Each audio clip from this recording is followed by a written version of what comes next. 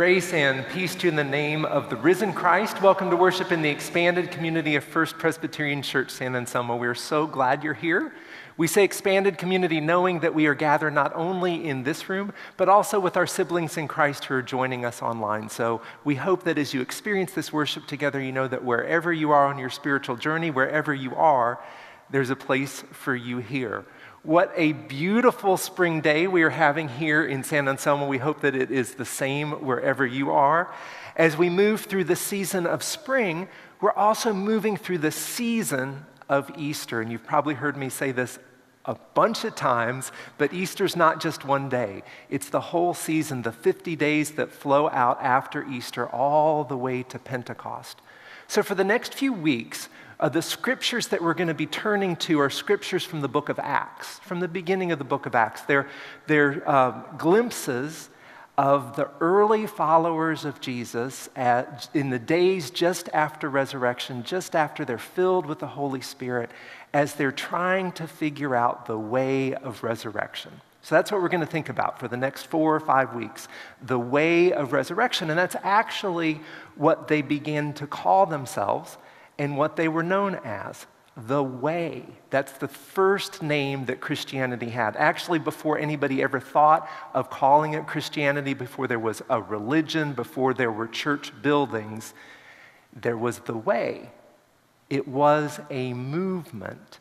I love to think of that. The way it suggests a path, it suggests that it was dynamic and changing, and it suggests that there was a direction leading us towards where the risen Christ would have us go with all the experiences that the risen Christ would have us have. Friends, we are celebrating the season of Easter and we are venturing out together on the way of resurrection. This is the day that God has made. Let us rejoice and be glad in it. Let's worship God, and I'm going to invite Joy to lead us in the call to worship from our online space. As we gather in the body of Christ, Please join me in the call to worship.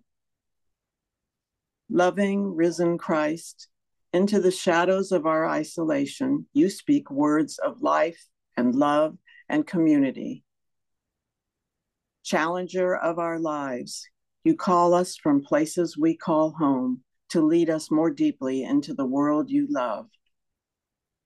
With your gentle, healing touch, you redeem the broken places of our lives and you heal the wounded places of the earth. Inspire our worship here this day so that we may share liberation in your word and be filled to overflowing to share your healing love throughout the earth. Come, let us worship God. Come, let's worship God and let's rise in body or in spirit as we sing together our opening hymn, hymn number 238 Thine is the Glory.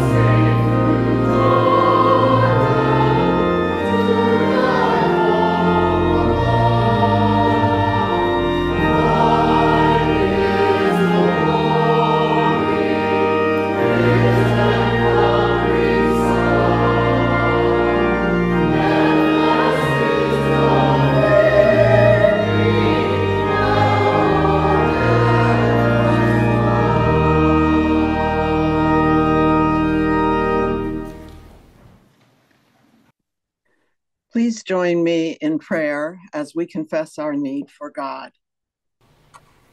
Loving God, even in this season of resurrection, so full of life, we come carrying our needs and the deep need of the world. All our hurt, all our brokenness, all our wandering, all the people and the places in the world that are not free. Stretch out your hand, O God, heal our hurt, mend the harm we have done in the world, the harm we have done to the world. Set your creation free, bring signs and wonders and life in the lives we live by the power of the risen Christ.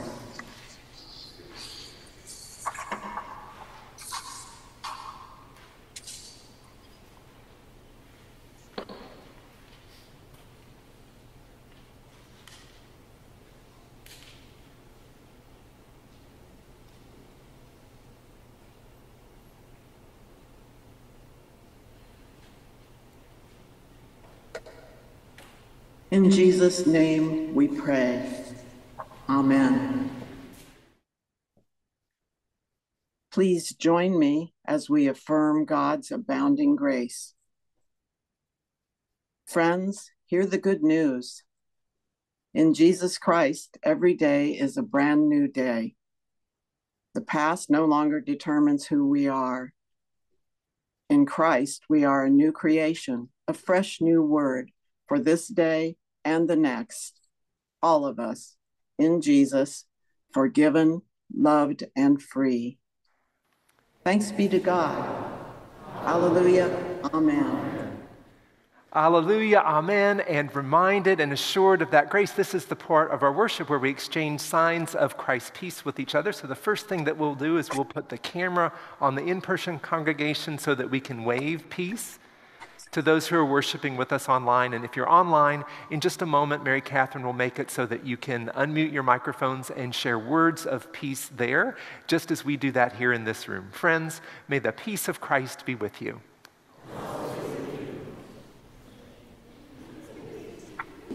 Well, good morning, everybody. It certainly is a beautiful day. Yes, it is. Yes, it is. Watch out, children. Peace, everyone. Peace over hospital livings. Oh, Is it media on? I have to make, meet this check here. He probably almost do a somersault. Okay, wait a minute. Carol, how are you this morning? I'm doing fine, thank you. Okay, what's your weather like in Florida? It's kind of gloomy today, Uh, sorry. but it's warm, so Yeah. it's All the, good. ro- all the roses are blooming here. Yeah. What is everybody else's garden doing? Blooming, blooming, growing. We're blessed by all these green hills. Everywhere I look out the window is just green because the hills are all green now. Yeah, Scott sent a picture of the goats. Oh yeah, the goats are eating our grass so nicely, protecting our home from fire. Yeah. It's a little fun thing, a little ritual of spring here in Terra Linda. it's a good one. I think they say have on pajamas, you know, like those baby goats in pajamas you can see on uh, Hey, you online. I wanted to say that Michelle has been diagnosed with breast cancer. So that is an area of prayer for all of you, please. Is that we could continue to pray for her. It's DCIS, so it should be okay, but uh, we'll do all of that in the next year. Coming up with that. That's my area of prayer. And our daughter Emma's getting married. The time in worship where we were led by our children, uh, by Everett and Anders, June, Cece, Paula, Shiha, Shihu, Shira, Phoebe, Quentin, Hannah, Olivia, Elle, Ashley. Whether you're a child or a child at heart, whether you're here with us in this room or worshiping with us at home, there is a place for you here. And Gina, can I slide in so I'm kind of in the middle so people can see my laptop? Excellent. Good morning. Good morning. How are y'all doing? Well, this morning I want to share something that I saw that was amazing. Because sometimes we just need to, when we experience something amazing, we need to share it with each other. And you know, it's, um, it's a part of God's creation. You know, God created the sun and the moon and the stars and all of that. And so recently I saw an eclipse. Really? Yeah. Did you all hear about the eclipse? Yeah. Did you get to see a little bit of it? No. Well, so I'm going to show you some pictures. So don't worry. Don't worry. Um, you saw the eclipse? So out in California, you could see a little bit of it, but there was a path up the center of the country where you could see a full solar eclipse. So you remember, an eclipse, you know, we go around the sun. So we're traveling around the sun, and the moon is traveling around us. And sometimes the moon gets in the sun's path and blocks it out. And if we're in the path, and if we put on some very, very special glasses, sunglasses, you can see that. So I just happened to be in that little strip because I had gone to Louisville, Kentucky, which is in pretty much kind of in the middle of the country. And then I went to spend some time on retreat in Indiana. So, you know, in the center of the country.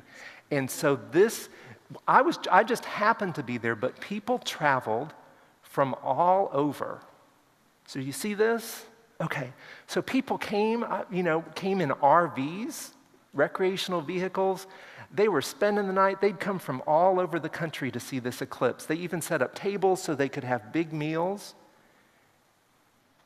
And there I am in those glasses. Very fashionable, special glasses, because you know, when you're looking at an eclipse, you're looking at the sun, and that's dangerous. You never want to do that because it could hurt your eyes. But if you, and you want to wear sunscreen, give me a high five on that. You want to wear sunscreen. But if you're looking at the eclipse um, with these special glasses, you can see the moon moving in front of the sun. But you only do that with these special Wait, glasses. Is that the playhouse? No, that's not the playhouse. It kind of looks like the playhouse. See, I was at I was at a place that's called a monastery where monks live, and that's the guest house right behind me. So that's where I stayed. It does look like the playhouse, doesn't it? Just around the corner. Okay, so this are some of the people. We're all there. We're waiting for the eclipse, and you know, it may have started there. Some people, I didn't catch it, but some people laid down in the grass. Eventually, I laid down in the grass because it's just easier when you're sitting there for two hours looking up at the sun to do that. You just go like this. And, and again, I had my protect, just like that, I had my very special protective sunglasses on. Okay, I did wear sunscreen. Uh, My doctor tells me to do that all the time. And so we're sitting there, and gradually, gradually, gradually, the moon comes in front of the thing. And then all of a sudden, it was dark. It was dark. It was da- like that. So let me see if I can go back. So that's what it's like at 1:45 in the afternoon, and then at 2 o'clock, that's what it was like. So it was pretty spooky.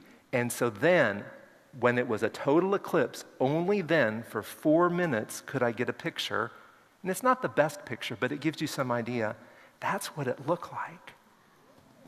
So, you know, that's, you know, that's the moon and that's the sun. And even if I was looking through my glasses, the moon was totally covering up. But that tells me the sun is so big that even the moon can't stop it, can't stop it for shining its light. So, anyway, I wanted to share that with you because it was amazing. But also, something else is amazing to me that the God who created all this, who created things as big as the sun and the moon, created us too. And the God who loves the sun and the moon loves us too. And that's pretty amazing. So, to celebrate that, let's, let's say the pretzel prayer.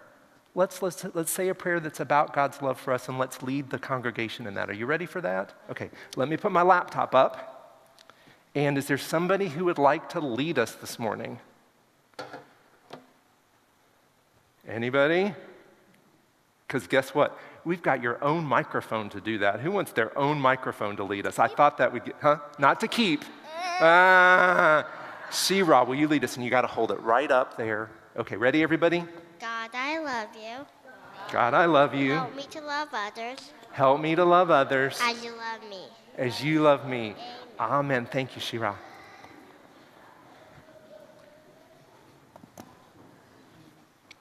When we were doing worship practice, Carl said, I said, Are the slides in there for the children's moment? he said, Yeah, they look like they're pictures from your trip. so, yeah, they were. They were. Um, so, friends, we're, we're traveling through the season of Easter. We're talking about the way of resurrection.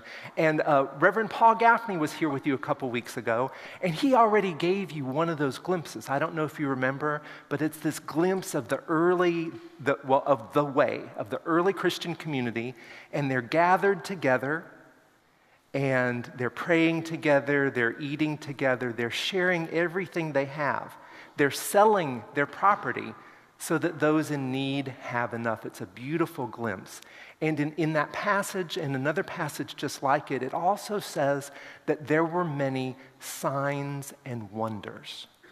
In this way of resurrection, there were many signs of wonders. In the scripture this morning, that Joy's going to read in two parts, is one of those stories. It's the story of a time when Peter and John healed someone who could not walk from birth. So it's a healing story, but it's Peter and John who do the healing. And it's a long story. It's uh, the whole of Acts 3 and most of Acts 4.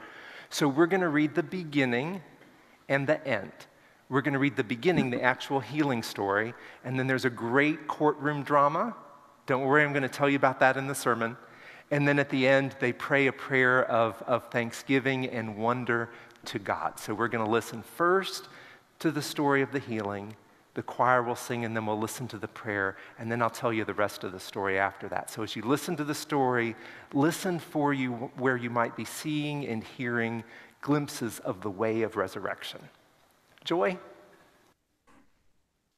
Our scripture reading this morning begins with Acts 3, verses 1 through 10.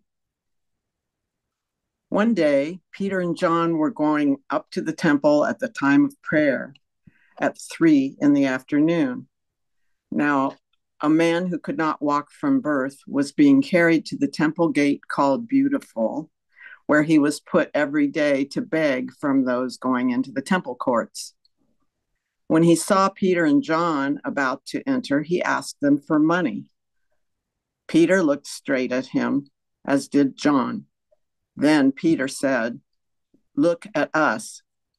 So the man gave him gave them his attention, expecting to get something from them. Then Peter said, Silver or gold I do not have, but what I do have I give you. In the name of Jesus Christ of Nazareth, walk. Taking him by the hand, by the right hand, Peter helped him up, and instantly the man's feet and ankles became strong. He jumped to his feet and began to walk. Then he went with them into the temple courts, walking and jumping and praising God. When all the people saw him walking and praising God, they recognized him as the same man who used to sit begging at the temple gate called Beautiful. And they were filled with wonder and amazement at what had happened to him.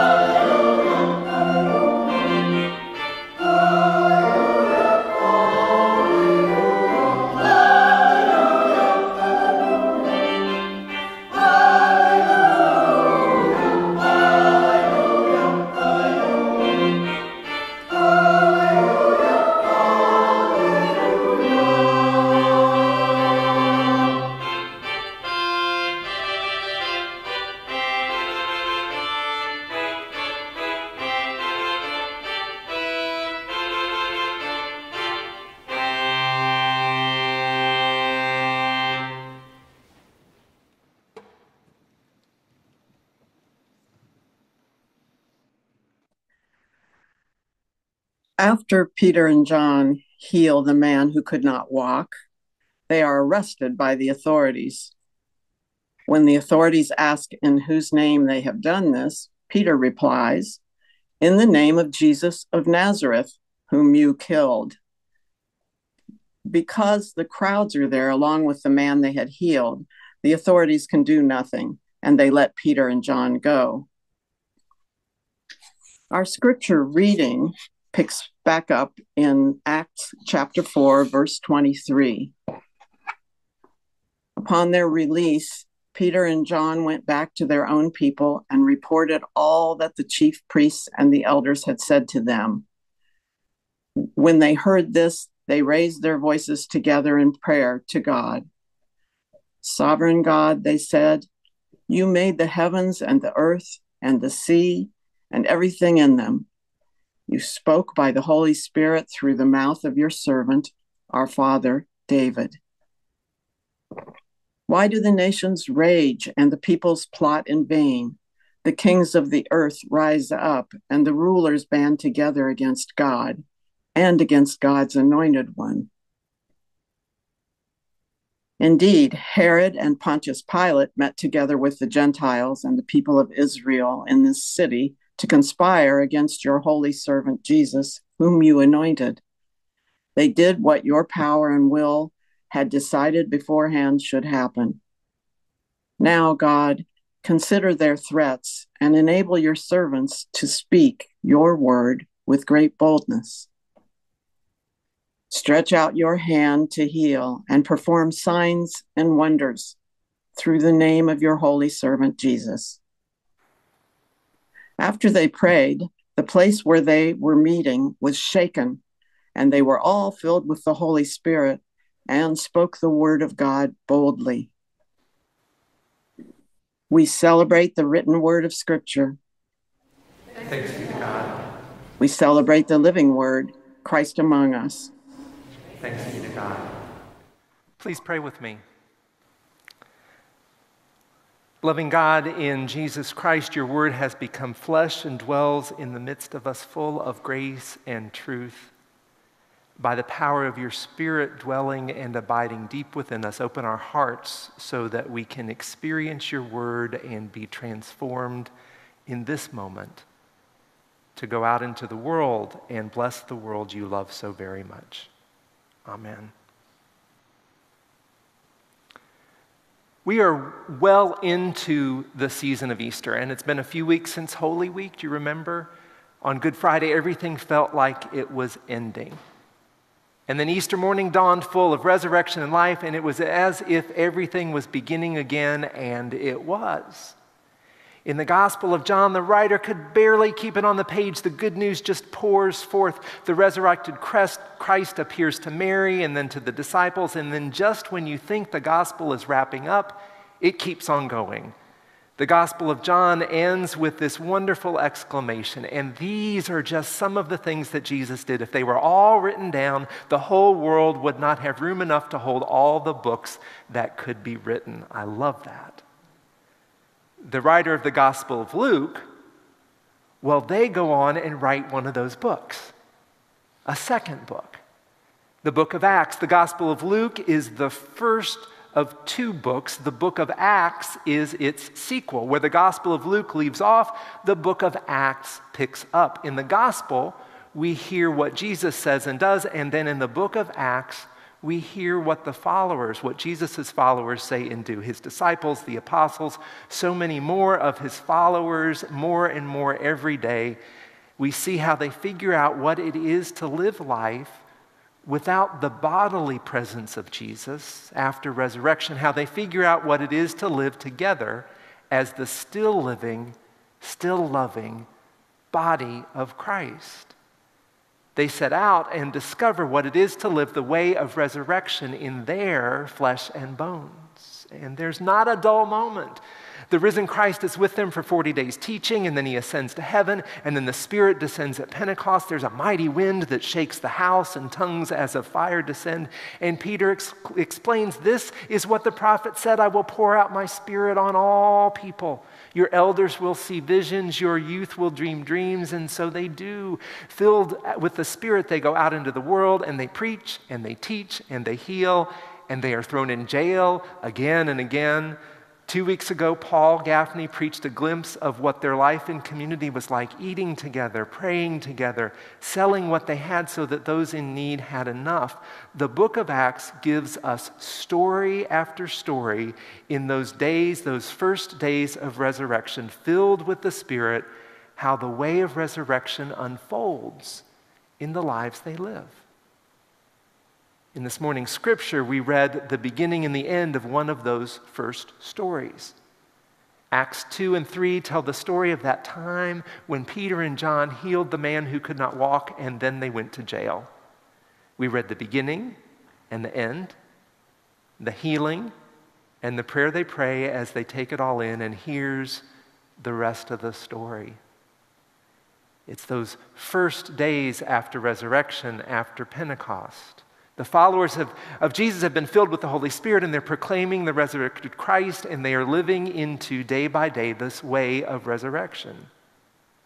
One day, John and Peter are on the road walking to the temple and they come upon a man who is begging but cannot walk. Every morning, he has to be carried to the temple gate so that he can beg for food.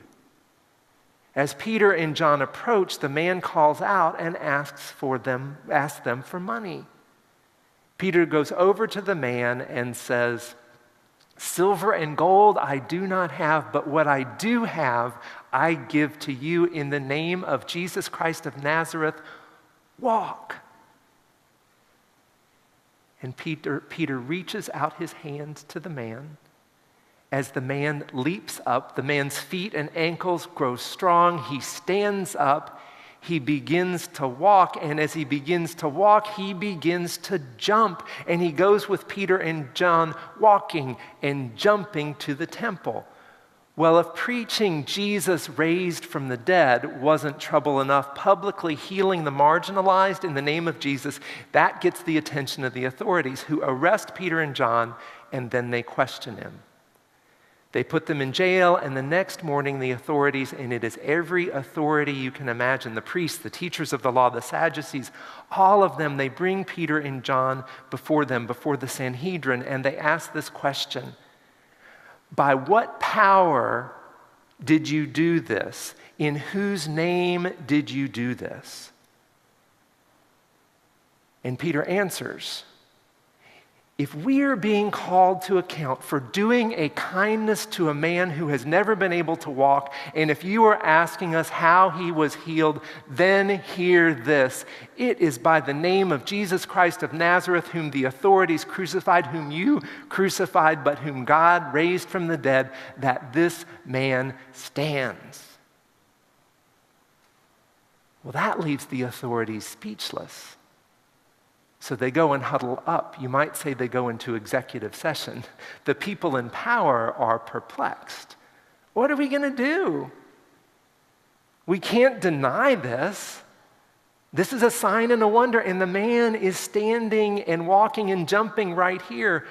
So they decide that all they can do, all they can do is that they're just going to go back out and they're going to instruct Peter and John to stop. Just stop, stop preaching and healing in the name of Jesus. And so they go out and they tell Peter and John that, okay, here's the thing. Just don't do this anymore. No more preaching resurrection, no more healing in the name of Jesus. And here is what Peter and John say to that No. As for us, we cannot help speaking about what we have seen and heard, and those powers, they can't do a thing. The man is standing right there, walking and jumping. Checkmate. So they let John and Peter go. And Peter and John go back to their community and tell them what has happened, or maybe the community has seen it the healing, the jail, the witness, and then they all pray. They pray together. They praise God, creator of all things, giver of life. They pray that God will watch over them from those threats of the authorities. They pray that God will give them boldness of speech to proclaim resurrection. And as they pray, they say these words Stretch out your hand to heal and to perform miraculous signs and wonders in the name of your servant Jesus. Stretch out your hand to heal and perform signs and wonders in the name of Jesus. Stretch out your hand. So here's the question Whose hand? Stretch out your hand. Whose hand? Well, they're praying, so in the first instance, they must mean God. Stretch out your hand, O God, to heal and perform wonders in the name of Jesus. Stretch out your hand, O God, your hand that has molded and shaped us, that created us and everything that is, that created the beautiful diversity of us all in the image of you.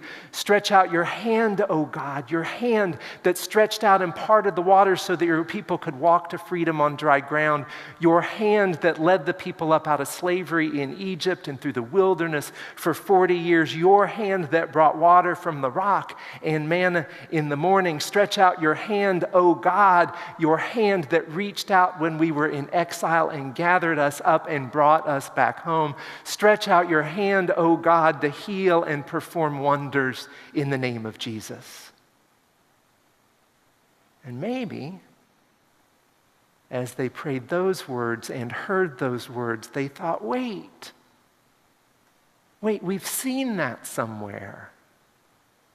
We've seen that recently, the healing and the signs of wonders. We have seen that in Jesus the Christ.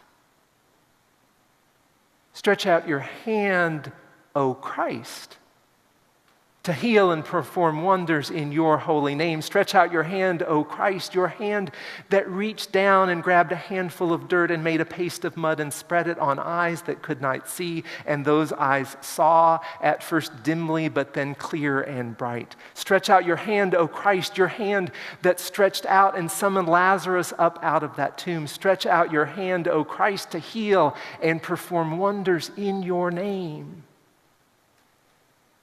And maybe as they remembered that, they remembered that Jesus wasn't the only one who had stretched out his hand.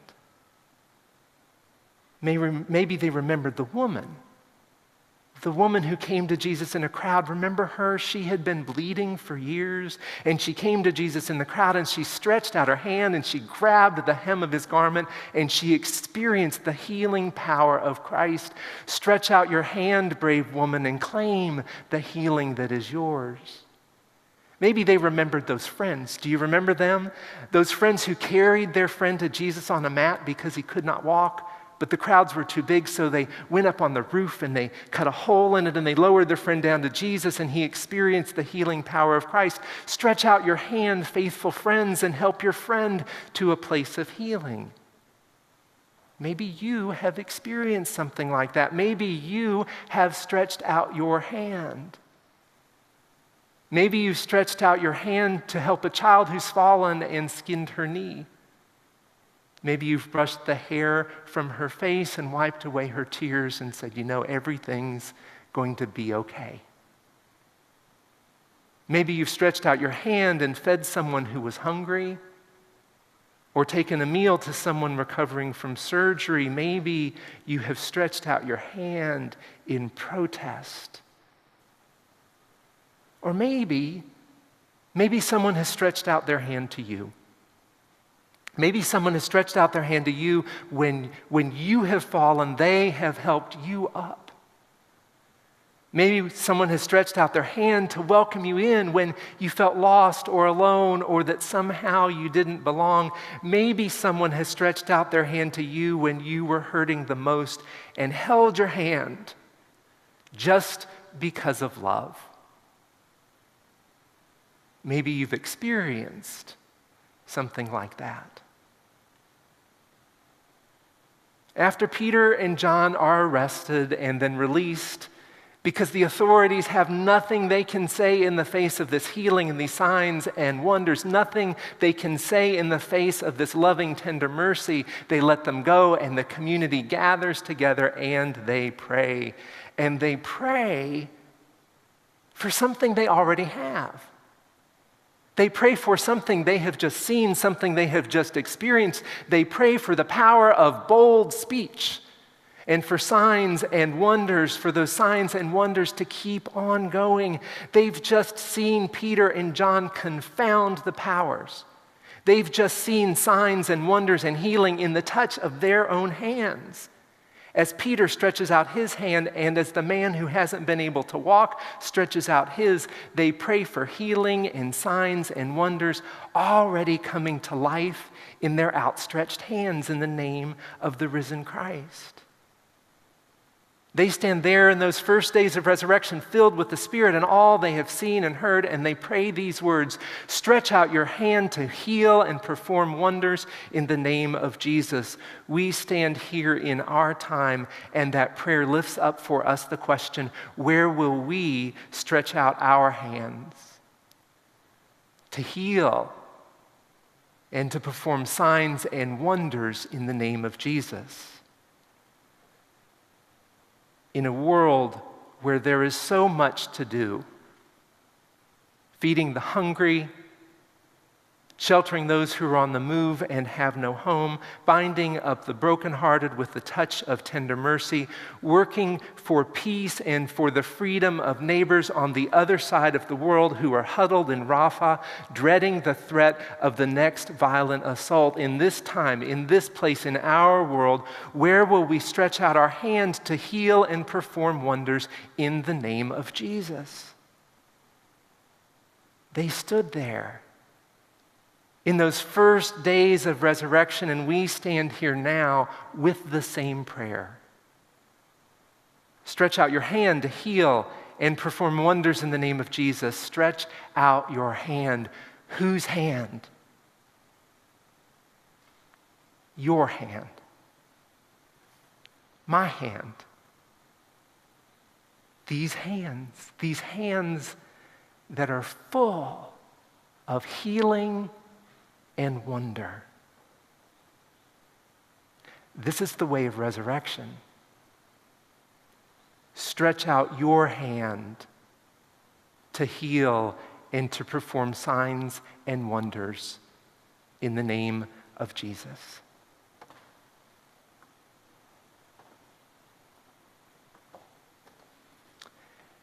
And as we stand here together with those siblings uh, following the way of resurrection back then, as we stand here together, uh, we continue our prayer. We continue our prayer in song, and then in silence, and then in words that will lead into the prayer that Jesus taught. Friends, let us be in prayer together.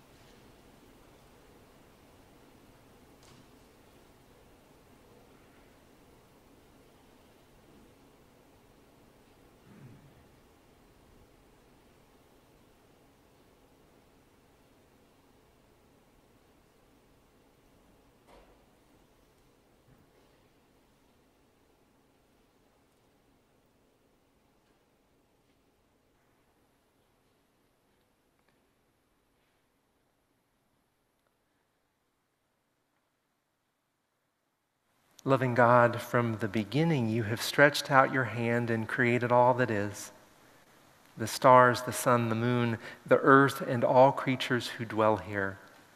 You have shaped us and you weave us together for life lived in just and loving community.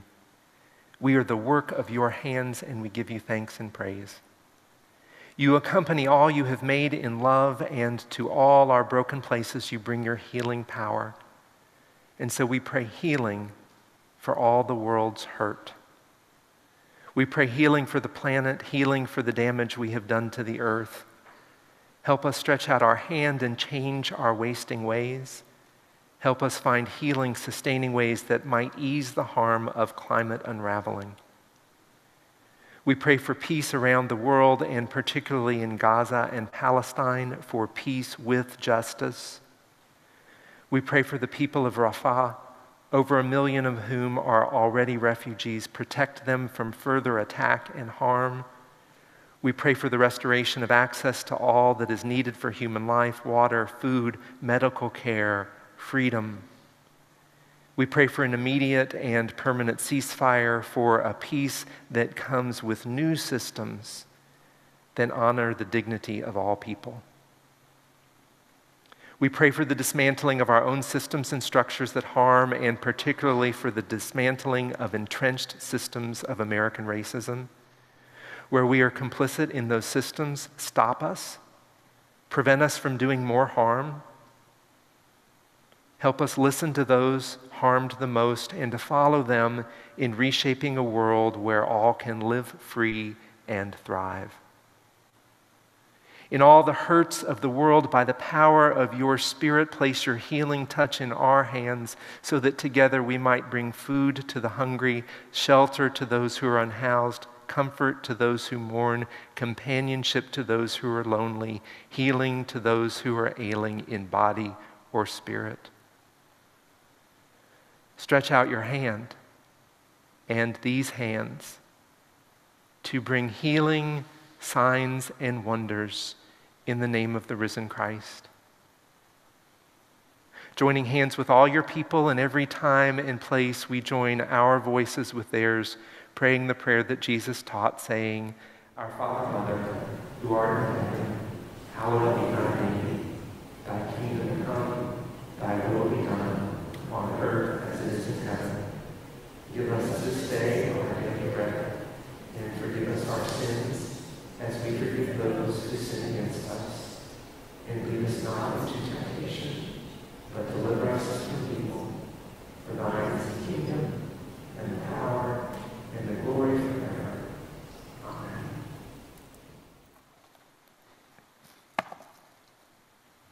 Again, welcome. We are glad you're here. Um, if it is your first time visiting with us or one of your first times, a very special welcome to you. If you're here in person with us in the sanctuary, I hope we'll get the chance to say hello and get to know each other a little better. I'll be at the the door uh, right after worship. And then we also have coffee over in Duncan Hall. So if you want to come over and have coffee and snacks, we can, uh, we can have a little time of conversation. And if you're online, we'd love to get to know you as well. You can just leave your email address in the chat, or you can email me at scottclark at togetherweserve.org. That's Scott Clark at togetherweserve.org, and we'd love, love to be in touch. Um, we are moving through the season of Easter we are living into the fullness of life. And part of the, the fullness of our life that we share together is that we've, we've experienced some deep loss in the past days. So, just a reminder um, that we will have memorial services where we'll celebrate the life of Sandy Truex on Saturday, May 4th at 10 a.m. And then on May 23rd, we'll gather again, uh, also at 10 a.m., to celebrate the life of Patricia Swenson. Um, so we invite you to come and be a part of that as we surround the family with love, as we grieve, as we give thanks for these amazing people who have been and are a part of us, and as we lean together into the sure hope that we have of resurrection we live the fullness of our life, and Martha Olson Joyce is going to come and share part of that. Martha, come on up. Um, as, as we mentioned in the congregational meeting, uh, the Finance and Resources Committee uh, had talked, and there was the idea that they would come and report more frequently more regularly to just describe the life of stewardship of our community. So, Martha is kicking this off. So, Martha, welcome. Hello. I'm here on behalf of the annual giving team. I'm going to report on Q1 giving. At our congregational meeting in January, we let you know that in 2024, for the first time anyone can remember, our projected expenses will exceed our projected income.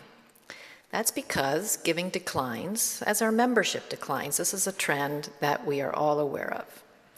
Congregational giving has a big impact. It represents more than two thirds of our income, so when giving declines, that's a big deal, and something has to change. So, one thing, one change we made to fill that gap, in other words, to balance our budget, is a prudent draw on our reserves of about 25K, 25,000. And this practice may be our new normal. Now remember, a budget is just a plan. If giving exceeds our projections or expenses are less than we expected, we won't need to draw on our reserves, or we won't need to draw as much. While we do have a million dollars in reserves, each time we draw on them, we are borrowing just a bit from our future. That's why we're going to be speaking to you on a quarterly basis just to keep everybody informed as to where we are. We want to be open and transparent because we're all in this together. So, to begin, our total giving budget for this year is $380,000, and here's where we are as of the first quarter. Here's the good news. In terms of giving for the quarter, we're on target. We received 20% of our giving goal, and we are 25% through the year. Yay! The not so good news is that pledges are down. We receive fewer and fewer pledges each year. If we were to receive 100% of our pledges this year by December 31st, we'd still be short of our goal, which means a greater part of our operating income this year will rely on plate giving or new givers or the bounty of a bequest or a major gift that we don't yet know about. It's just a bit more uncertainty. So, a word about pledging. We know people give faithfully without pledging, and this church doesn't pressure people to pledge that because it just doesn't feel like us. However, a pledge does give us more confidence in planning, so thank you for pledging. All right, looking ahead. We're looking more closely, the annual giving team, about how we might expand our base of financial support. As we all know, it's just unsustainable for the financial support of this church to fall on fewer and fewer shoulders. There may be ways to grow our use income. There may be ways to involve the broader community in our purpose and place.